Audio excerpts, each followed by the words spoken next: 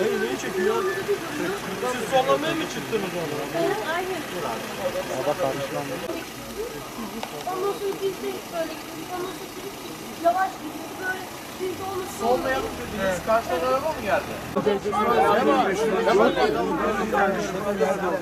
Sen bir araba al.